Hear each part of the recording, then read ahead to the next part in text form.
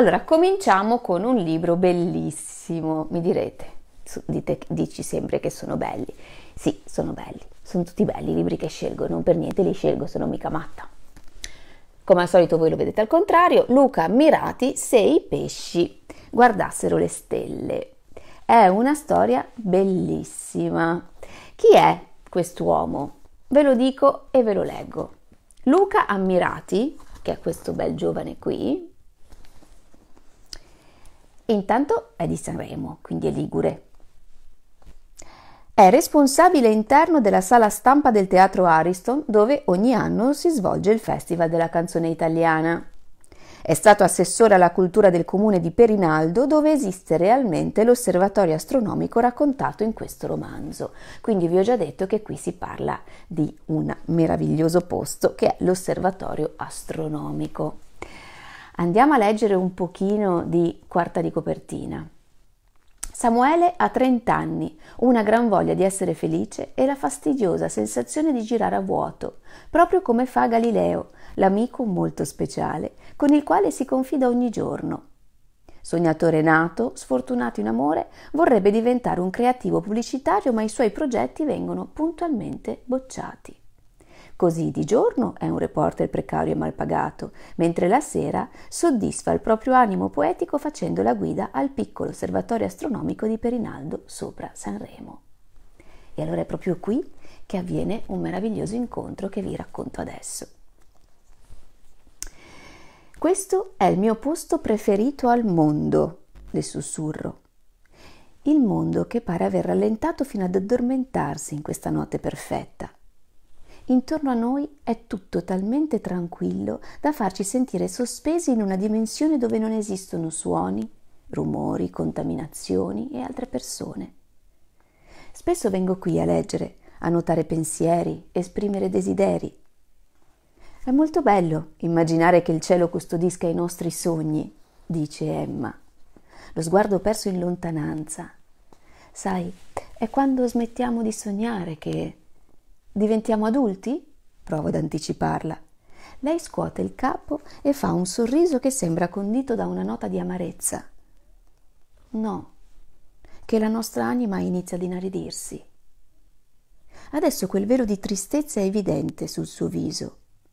E se invece i sogni se ne stessero lì, appesi a fili sottili, continua a riflettere a voce alta, non sarebbe una cosa pazzesca? Ti è mai capitato di immaginarti lassù, al posto di una stella, accanto a tutti gli altri corpi celesti al di sopra di tutte le cose. Vorrei annuire con forza. Certo che mi è capitato. Mi è successo poco fa. Mi sta succedendo anche adesso. Cullati nel silenzio della notte, siamo già al di sopra del tempo e delle vicende umane.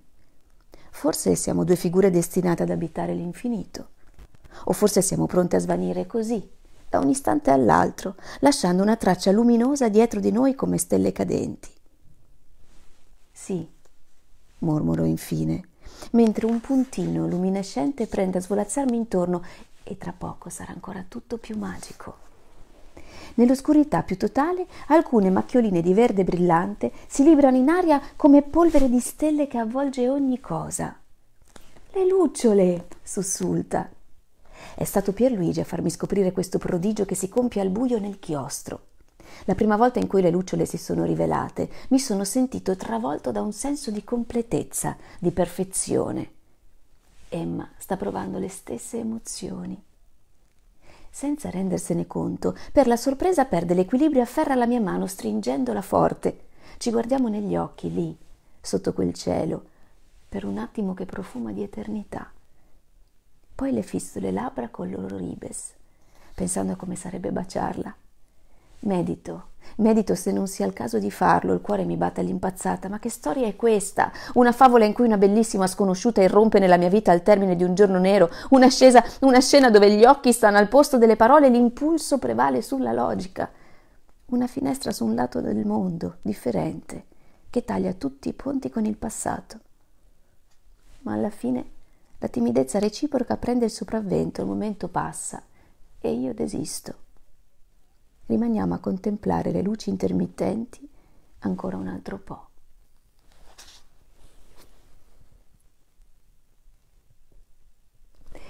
Questo era Luca Ammirati, il libro è bellissimo, è anche una storia d'amore, ma c'è tanto di più, per cui ve lo consiglio e, e basta. È il primo libro, l'abbiamo letto. Allora, cosa dite? Vi saluto? Vi saluto. Vincenzo deve andare, ciao, non ti preoccupare, ci mancherebbe altro. Elvira Orsini, ciao, l'autrice di Crocefisso, quella la scorsa settimana, è qui con noi, grazie, presente, fantastico sentirti interpretare, grazie davvero. Poi, poi, poi, Isabella Vilceschi, ciao. Gianni, che piacere, ciao. Gianni Ansaldi, ve lo ricordate Gianni? Sapore di mare, sapore di sale, sapore di mare, sapore di tè. Il ragazzo che si innamora di, di quella meravigliosa donna bionda, Virna Lisi? Era lui! E oggi insieme abbiamo fatto, ve l'ho detto prima, abbiamo, fatto, abbiamo presentato il, il libro di Paola Servente. L'altra volta invece avevamo presentato Bruno Morchio, dove crollano i sogni. Achille, ciao, Giovanni, ciao, Gianni, ciao Gianni, Luciano l'abbiamo salutata, non ci credo. Cosa Stefano, non ci credi? Stefania l'abbiamo salutata, i quattro di Sabrina, Sabrina compresa l'abbiamo salutata, poi chi c'è? La mia più grande passione è l'astronomia. È vero! Già, già, già! Questo, questo allora devi comprare. E tra l'altro, l'anno scorso, purtroppo io non sono potuta andare perché era, era, mm, ero in vacanza, ero già partita. L'anno scorso hanno proprio organizzato una gita in questo meraviglioso posto a Sanremo, sopra, vicino a Sanremo, e all'osservatorio hanno fatto la presentazione di questo romanzo. Basta. Oh, è arrivato il mio amico Bruno Volpi. Ciao caro, ho parlato di te poco fa. Allora, direi di passare alla seconda. Gianni mi ha venduto le Soconi. Collegamento? Piera Rivera, ciao! Allora ragazzi, ci siamo? Possiamo passare alla lettura del secondo romanzo di una autrice che io amo perché è anche diventata una mia amica e si chiama Valeria Corciolani. Questa sera io vi leggo un tratto del Morso del Ramarro, ma Valeria Corciolani è un'autrice che scrive, scrive, scrive, scrive, scrive tantissimo. Ha cominciato nel 2010 e il suo primo romanzo è stato Lacrima di coccodrillo, pubblicata da Mondadori. Poi ha scritto altre cose, il mostro del ramarro, tante altre cose che adesso non voglio, non voglio, dirle tutte perché altrimenti poi me ne dimentico qualcuno e faccio brutta figura, ma vi dico l'ultima uscita.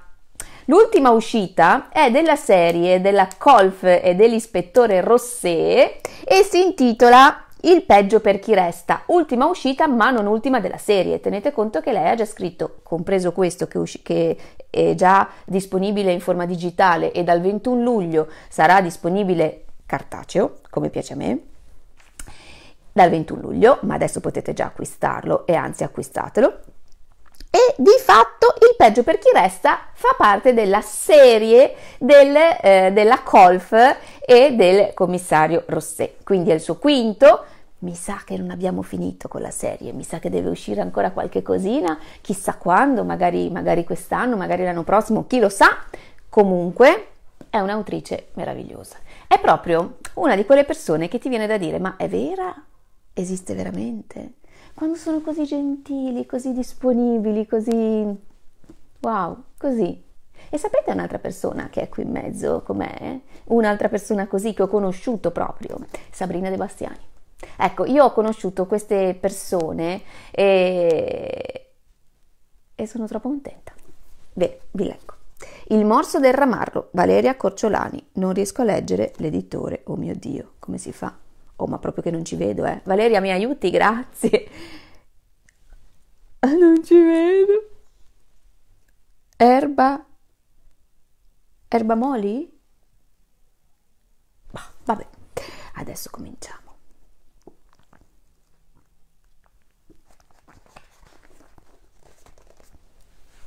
Questo è un dialogo erba moli, giusto. La signora Luisa dice da ragazza odiavo l'uncinetto e ora invece guarda, ci passo le giornate. Come si diventa, eh, mia cara? La signora Luisa scuote piano la testa. Marisol gorgoglia una delle sue risate contagiose. Ecco qui, signora Luisa, la catenella è pronta. Può girare l'occhiello se vuole fare il giro. Marisol pone con delicatezza l'uncinetto tra le dita tremule della vecchina che le sta seduta di fronte.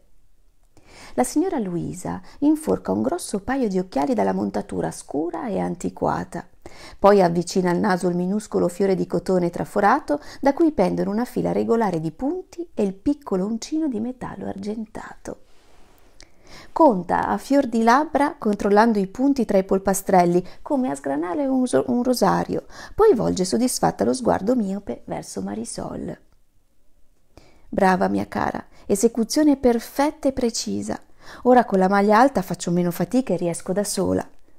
Marisol osserva le mani della donnina che arrotolano lentamente il filo intorno al dito per muoversi, ritmiche, seguendo il movimento dell'uncinetto. La pelle candida è talmente sottile che pare di riuscire a seguire il pulsare del sangue nelle vene violacee. Sembrano mani fatte di cera. Le due fedi di cui la più piccola è messa a bloccare l'altra più grande, cozzano tra loro sull'anulare smagrito con un rumore che le ricorda la slitta di Babbo Natale.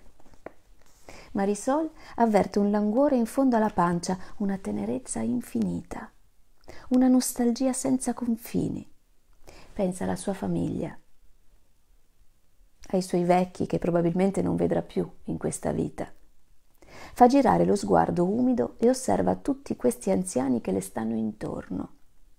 Molti dei loro familiari vengono a prenderli al termine della giornata di lavoro, capisce che non possono fare altrimenti. Qui la vita è diversa che al suo paese. Da lei la casa non è mai vuota. Fratelli grandi che curano i più piccoli, poi zie, zii, cugini, tutti insieme a dividere pasti, gioie, dolori e cose da fare, a seguire chi ha più bisogno e ti godi l'enorme ricchezza di respirare la saggezza dei vecchi, i loro racconti, i loro silenzi con gli sguardi persi nei ricordi. Qualcosa non va, mia cara? domanda la signora Luisa con la sua vocina bianca e tremolante. Marisol si asciuga gli occhi e sorride. Solo un poco di malinconia. Cosa ha mangiato oggi di buono, signora Luisa? La donnina posa in grembo l'uncinetto e alza gli occhi a osservare le grosse foglie di magnolia alla ricerca dell'ispirazione. Fa sparire le labbra pallide nello sforzo di ripescare la memoria. Le basterebbe un filo, come sondare con l'indice del gomitolo alla ricerca del capo da cui cominciare. Abbassa la testa e chiude gli occhi. Schiocca piano la lingua a ricreare un gusto, un sapore ondeggia la dentiera nella speranza di trovare residui che le riconducano il ricordo. Poi scuote il capo. Non me lo ricordo, sussurra con la voce lamentosa di un bimbo disperato. Gli occhi enormi dietro le spesse lenti guardano Marisol pieni di sgomento e impotenza mentre il lavoro abbandonato in grembo scivola a terra. Marisol si china a raccogliere fiorellini di pizzo, poi afferra con le sue mani brune e morbidi le fragili dita bianche e trasparenti della signora Luisa e le stringe delicatamente, come a infonderle vigore. A che importa che ha mangiato? Forse non era speciale, oppure era cattivo, così cattivo che ha preferito di dimenticarlo. Ride contagiosa con i suoi denti bianchi tra le labbra piene. Mi racconti di quando aveva vent'anni e gli ammiratori non le davano pace? Sussurra dolcemente facendosi più vicina. La vecchina ridacchia pudica mentre le compaiono due fossette birichine sulle guance magre. Lo sguardo si perde tra le foglie, ma questa volta è denso e luminoso. Avevo un bel personale e mi cucivo i vestiti da sola. Quel giorno era il 27 aprile 1940 e avevo appena compiuto 18 anni. Marisol ascolta la vocina che si fa sempre più ferma, timbrica, sicura. Osserva quel viso magro che prende colore e vita. Ascolta incantata quel racconto vivido, non comprende proprio tutto e si perde in quei luoghi lontani nel tempo e così differenti dal mondo che ha lasciato.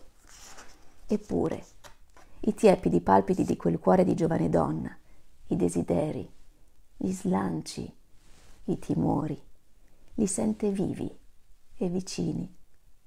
Chissà perché.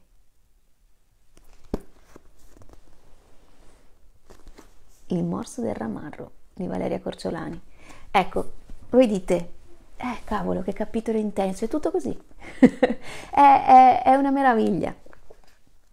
È una meraviglia e io non l'ho ancora finito, eh, mentirei se dicessi che l'ho finito, ma me l'ha, dato, me l'ha dato l'altro ieri, quindi non sono ancora riuscita a finirlo e ho dedicato più attenzione a, a quello che avevo voglia di leggere, no? ho chiesto anche qualche suggerimento a Valeria, e, ehm, ma è veramente, veramente bello. Quindi vi tocca soltanto comprarlo. Mia nipotina Francesca si è innamorata di Carol, eccola qua! Commossa, grande, grandissima luce. Ciao Valeria. Carol. Allora tesoro, se vuoi Carol, devi metterti in comunicazione. Oddio, metterti in comunicazione, che, che, che frase è? Devi sentirti con Claudia Ferranti. Meraviglia, è sul serio una meraviglia. Ragazzi, è una, è una scrittrice così Allora, adesso passiamo a un giallo, un thriller psicologico che si intitola, qua devo utilizzare il mio amico, passiamo proprio da un argomento all'altro come piace a me, eh? L'architetto dei labirinti di Marcella Nardi. Marcella Nardi è italiana, vive in America da un po' di anni. Io ho letto già un suo eh, brano, un, ho letto un brano di un suo libro che è eh, Morte all'ombra dello Space Needle, la trovate, trovate la mia lettura su YouTube. Qua mi sembra che mi conosciate tutti, ma per chi non mi conoscesse io ho un canale YouTube, Lucci-legge dove potete trovare tantissime letture di brani di romanzi e non solo, tante fiabe ovviamente e in questo modo avrete l'opportunità di rimanere colpiti dalle letture e quindi procedere all'acquisto. Io vi consiglio di andare sul mio canale YouTube perché in parte il fatto che mi farebbe piacere che vi iscriveste e devo dire che da quando ho cominciato questa avventura ehm, su Facebook il numero degli iscritti è aumentato e quindi ne sono molto felice andiamo a leggere e giusto appunto Marcella Nardi credo che sia stata, forse ce lo siamo dette io e lei, eh, non credo, è stata la prima ad avermi chiesto, eh, io avevo proposto le mie letture ovviamente e lei, caspita, ha avuto la voglia di scrivermi e quindi è stata la prima persona per la quale ho scritto, eh, sì ho scritto, per la quale ho fatto una lettura. Adesso vi leggo un altro brano tratto dall'architetto dei labirinti, le indagini dell'avvocato Joe Spark.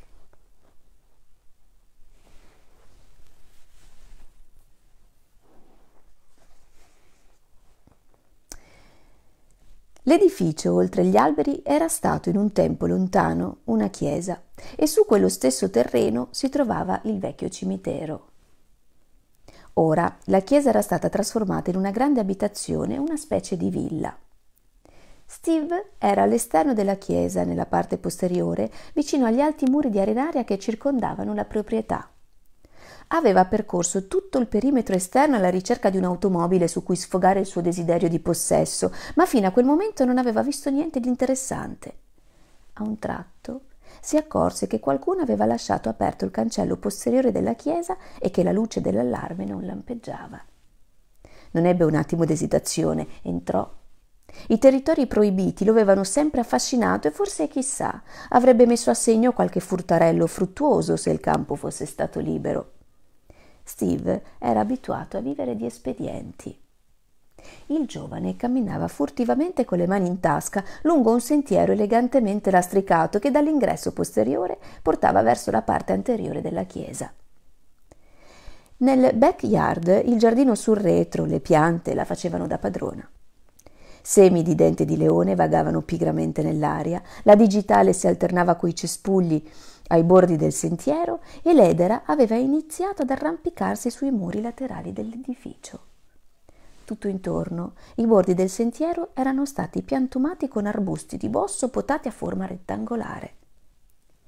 Il pensiero dei cadaveri che un tempo erano seppelliti sotto il suolo che stava calpestando non lo turbava affatto Ormai quei pochi resti erano stati rimossi, così come le lapidi.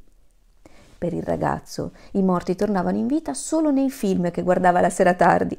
E non era neppure superstizioso, le scale erano fatte per passarci sotto e gli specchi per essere rotti. La nonna aveva definito la rimozione delle tombe e delle lapidi un gran sacrilegio. A nome di coloro che non potevano più parlare per sé, la donna se l'era presa con i burocrati che avevano decretato il cambiamento dei tempi e il fatto che la casa del Signore dovesse essere trasformata in un rifugio privato per vecchi Iniziati i lavori, anni dopo la, la sconsacrazione, c'era stato qualche vago tentativo di rivendicare i diritti di passaggio su una porzione della proprietà da parte di alcuni cittadini, ma la famiglia che aveva acquistato in blocco l'area era stata ben attenta a scoraggiare gli eventuali visitatori e il concello posteriore veniva tenuto sempre chiuso. A lavori terminati, ha mantenuto lo stile neogotico L'edificio, come aveva notato il ragazzo, era circondato da un giardino ben curato e dove un tempo c'era il cimitero, ora c'era un prato con un gazebo e alcune panchine. Steve pensò che se fosse riuscito a rubare qualcosa, sarebbe stata una giusta punizione per la famiglia che non aveva dato il consenso al passaggio su quella parte di terreno, se ne era appropriata, come fanno spesso i ricchi, pensò il ragazzo. Forse persino sua nonna non avrebbe disapprovato quello che stava facendo e magari lo avrebbe considerato come una specie di moderno Robin Hood, proprio il tipo di uomo che, secondo Steve, doveva essere stato suo padre, nonostante tutti i brontolii dell'anziana donna sulle rispons- irresponsabilità di quest'ultimo e sulle condanne penali che aveva subito. Il cielo era coperto, l'atmosfera umida. La sua maglietta era bagnata di sudore e appiccicata al corpo esile. Le scarpe da ginnastica che aveva rubato da Walmart gli facevano male agli alluci. Dopo aver raggiunto l'angolo della chiesa, Steve girò di nuovo. Davanti a sé apparve l'ingresso principale. Una luce al cancello avvisava dell'inserimento o meno dell'allarme. Steve sapeva che la lucetta rossa avrebbe dovuto lampeggiare se l'allarme fosse stato inserito. Invece non lampeggiava. Ecco perché era entrato nella proprietà. Che strano, aveva pensato dovrebbe essere sempre inserito. Avvicinandosi alla facciata principale, notò un'altra cosa strana. Una delle due ante della porta in quercia era socchiusa.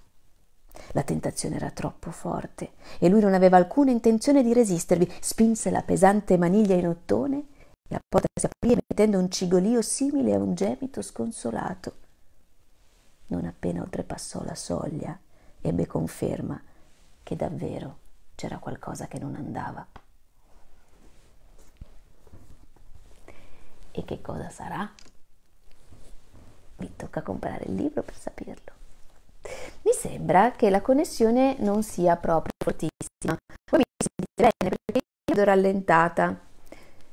Ditemi che cosa succede, soprattutto se riuscite a sentire le letture, perché il fatto che non mi vediate in faccia non importa, allora, intanto saluto chi è arrivato prima di passare all'ultima lettura. Allora abbiamo Chiara, ciao Chiara mia. Poi c'è Francesco Mancuso, scusa il ritardo, stavo scrivendo, perdonato. Ciao, Stefano Mancuso è un altro degli autori che ha scritto la fiaba per Morellini Editore e altre storie, Il mostro dagli occhi rossi e altre storie. Premio Nobel alla letteratura subito, dice Stefano ehm, Valeria.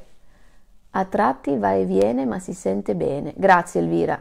L'importante è che si senta tutto bene, che si sentano le letture. Bravissima Lucia, romanzo splendido. Eh sì.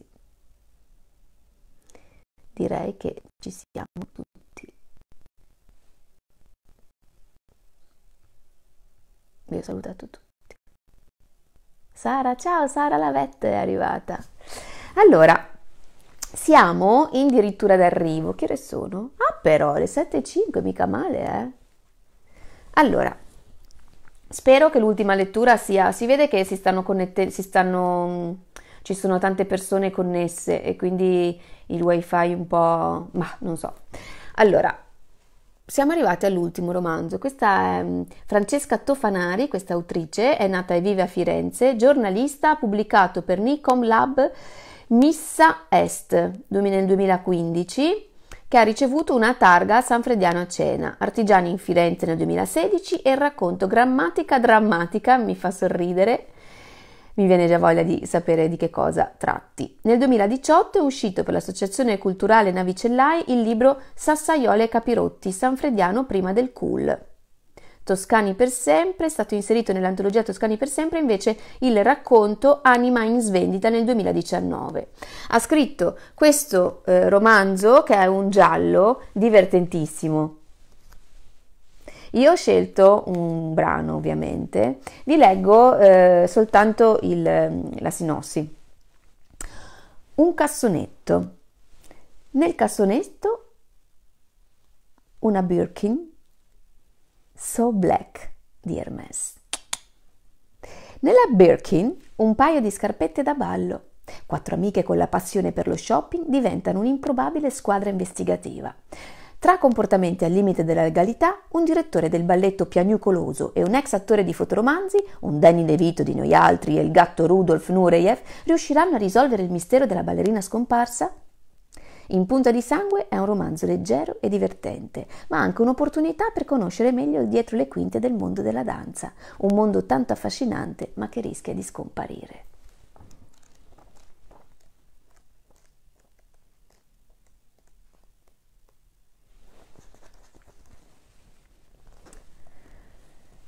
L'ingresso di Cordelia nel bar la distrasse dai suoi pensieri. Amorosa, esordì la donna in un abitino grigio di lamè che le lasciava scoperte le belle gambe fasciate in calze scure. Ai piedi stivaletti con il tacco e il suo simil chihuahua titano al guinzaglio. L'abbigliamento di Cordelia era sempre un argomento al centro delle conversazioni tra amiche e Stella. Si stupì del grande cambiamento di look della donna rispetto all'ultima volta che l'aveva vista se la ricordava piuttosto sciatta e trasandata, spesso vestita di nero, con leggings aderenti e maglioni informi e sempre in lotta con il suo peso. Stella non sapeva che era successo qualcosa nella vita di Cordelia e che un anno prima, decisa in tutti i modi a dimagrire, aveva scoperto la dieta di Catwoman. Dopo mesi di pasti a base di humus e ravanelli, dimagrita e più sicura di sé, era diventata una persona diversa dall'abbigliamento un po' bizzarro, ma sempre molto curata. Stella non la vedeva da parecchio tempo perché non si frequentavano molto, avendo in comune solo l'amicizia con Olivia e qualche incontro casuale per un caffè. Perciò rimase stupita quando Cordelia, in piena forma fisica, prima di sedersi con un cappuccino in mano, fece un giro su se stessa mostrandole il suo mini abito, che le disse con orgoglio di aver acquistato per 4 euro al mercatino Vintage. L'attenzione di Stella, però, più che dal vestitino fu attratta dalla borsa che Cordelia aveva appoggiato sul divanetto di finta pelle blu. Continuava a fissarla, pensando che il cambiamento della donna non poteva essere stato tale da potersi permettere una Birkin so black di Hermès.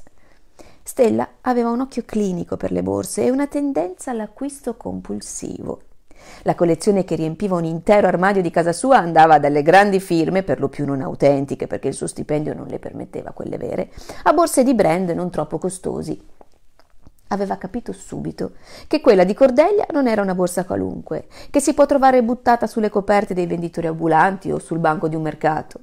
Quella era il sacro graal delle borse, il suo sogno, il suo sogno inavvicinabile la stessa che ogni giorno la sua collega Sara le sventolava sotto il naso entrando in sala prove, vantandosi di averla acquistata nella boutique Hermès di Parigi.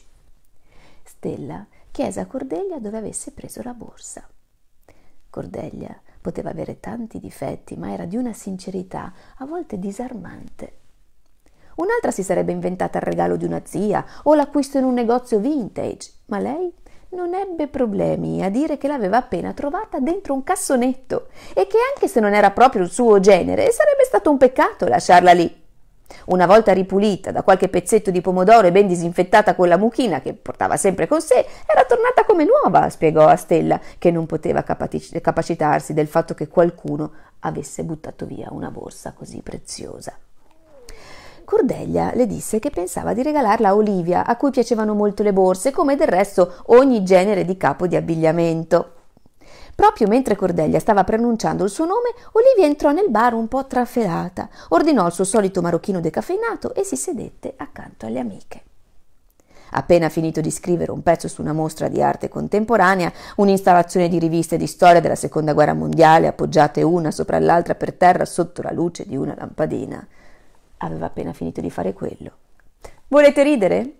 Le riviste erano accatestate un po' alla rinfusa. Un visitatore alla volta poteva consultarle per poi rimetterle a posto nello stesso modo in cui le aveva trovate, ma io non lo sapevo. Così ho pensato bene di sistemarle mettendole anche in ordine di data. Mi hanno praticamente cacciata dal museo. Per fortuna non mi ero ancora presentata come giornalista. Comunque, ho scritto un bell'articolo, tenuto conto che della mostra non ci ho capito niente. Questa era ultimamente la vita di Olivia, una serie di mostre di arte contemporanea di artisti minori, per lo più incomprensibili, almeno a suo giudizio. Non le era chiaro se la sua caposervizio le facesse seguire a lei perché la riteneva particolarmente preparata sull'argomento o, e questa era probabilmente la risposta corretta, perché gli altri giornalisti si rifiutavano di andarci.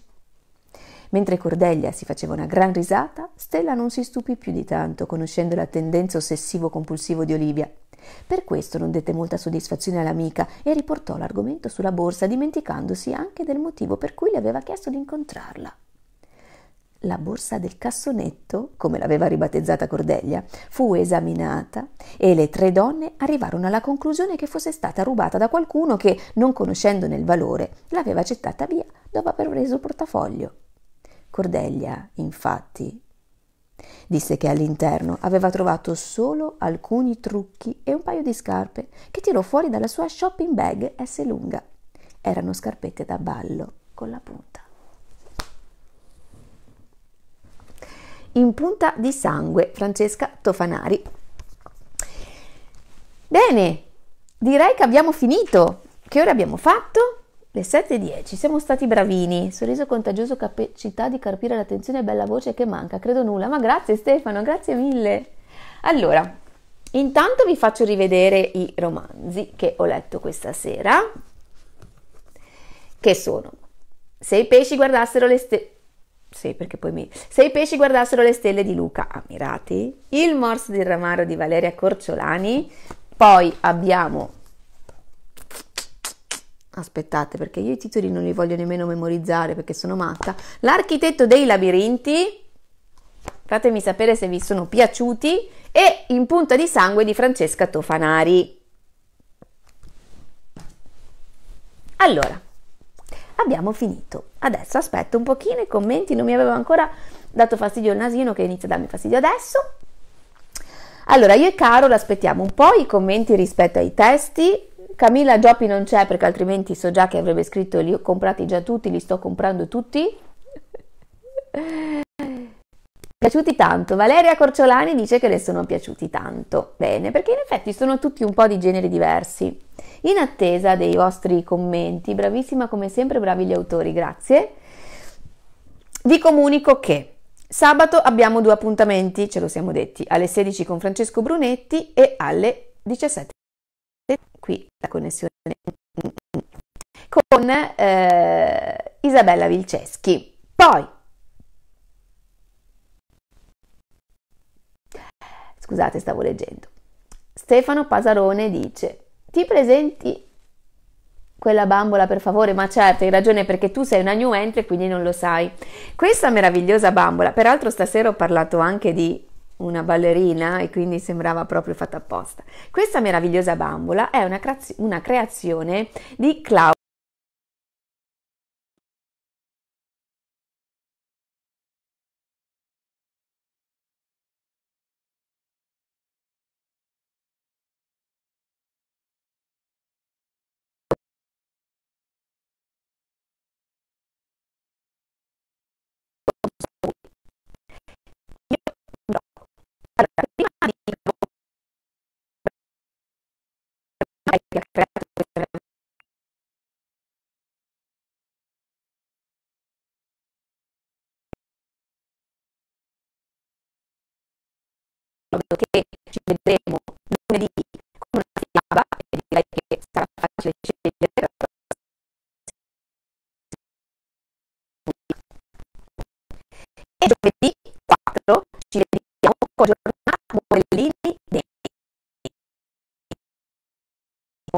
molto,